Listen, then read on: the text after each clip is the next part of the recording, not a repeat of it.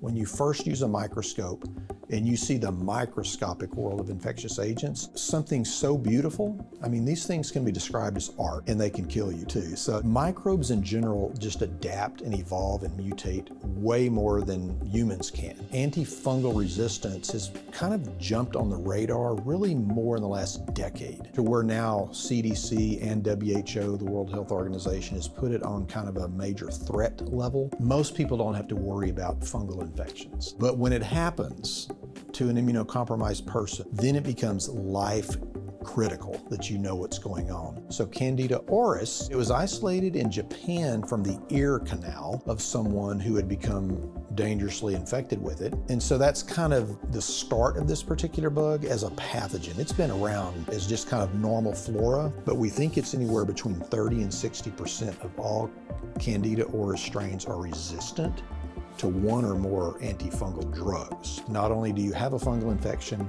now we may not have the correct type of antifungal drug. And then it's rapidly growing and if it's an immunocompromised patient. So again, it's like a perfect storm. This is what happens with a lot of these things. That means we need to be smarter about cleaning our environment, taking care of our environment. And then you've got the, um, the treatment side, right? So we're seeing more attention or funding for research for new antibiotics, for new antifungals, for new vaccines, for new antivirals, for all of these tools in our toolkit. So it's kind of a two-sided effort. An ounce of prevention is worth a pound of cure. Kind of the prevention, and then how do we treat once it happens?